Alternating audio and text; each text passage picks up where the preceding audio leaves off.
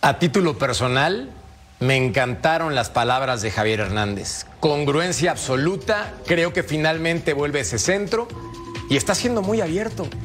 Para mí, ha dado una gran lección de lo que tiene que ser congruencia. Para mí. No, por supuesto, yo también lo comparto, porque si traducimos lo que a él se refiere como inversión y lotería, es trabajo. Es trabajo en todos los sectores. Y es tener una buena estructura y darle seriedad y no poner por encima lo económico de lo deportivo. Te dicen por ahí, y alguna vez estuve viendo el tema de la Premier League, que muchos equipos o muchos dueños quiebran porque la pasión mata a la administración. Acá, no, acá hay mucha pasión, pero hay poca administración en el fútbol mexicano. No hay administración. Correcto. Entonces, él se refiere a que hay que trabajar.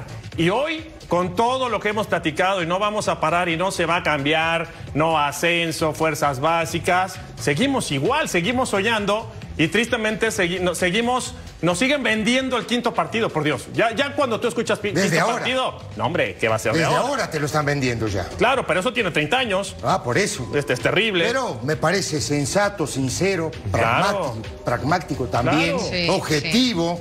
Claro. El tipo Autocrítico, autocrítico también. Autocrítico. Porque el tipo sabe que se equivocó, no puso la cara. Pero bueno, digo, y sí, y sí tiene mucha razón en el sentido de que dice, di- esto se consigue con trabajo, con planeación, pero con un montón de cosas. Esa es la verdad, no es de un día para el otro que vas a llegar al quinto partido, salir campeón del mundo. es Mira, me, me quedé, me Y, quedé- y habla bien, ¿no? No, Sí, claro. no, A- a- espectacular. Claro. habla, habla bien, el chico siempre habló bien y tiene una gran contra que es dentro del fútbol, sobre todo con los directivos. El tipo va de frente, Claro. el tipo va al choque, el tipo va a pelear, él defiende a lo que le corresponde y a sus compañeros. Y eso no le gusta mucho a los dirigentes. El tipo, el tipo es así. eh, y no le gusta, a, a los dirigentes no le gusta que le pelees por algo que ellos no quieren dar y sobre todo cuando involucra a todo un grupo. Los dirigentes, sobre todo en el fútbol mexicano, están acostumbrados a hablar con dos, tres o cuatro, arreglan con ellos y los demás tienen que estar calladitos porque no son tan fuertes como para ir pelear algo. Y este no, este va de frente, este va al choque.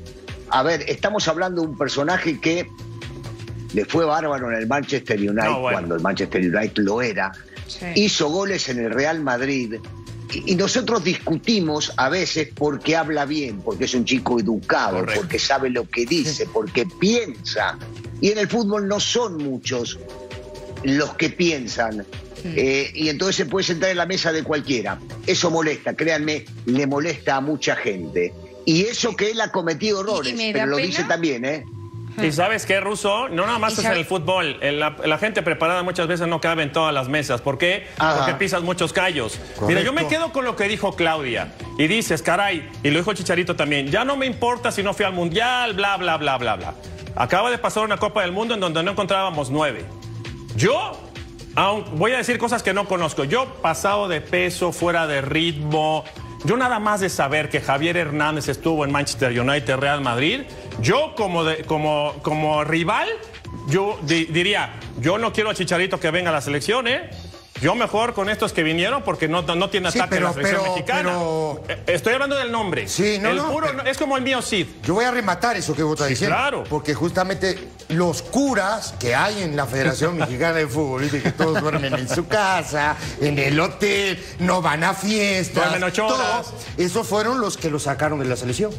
Sí. Ese es el tema. Ay, fútbol mexicano. Mamita querida. Es que es un punto, hay, hay un punto que me ha parecido súper interesante que, que lo comenzaba a destacar el ruso de, bueno, pues al fin y al cabo intentar callar bocas a, a los directivos o a, o a la gente de pantalón largo, ¿no? Como, como lo comentaba el ruso.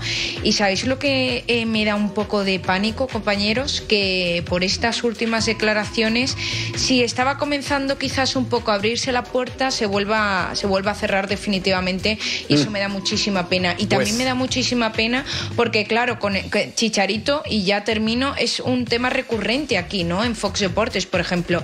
Pero en el Mundial, aquí en España, España, Europa se preguntaba, pero ¿cómo no está Chicharito Claro. con el tri? Aquí la gente no lo entiende, Claro. porque aquí en Europa Claro. se ama a este jugador.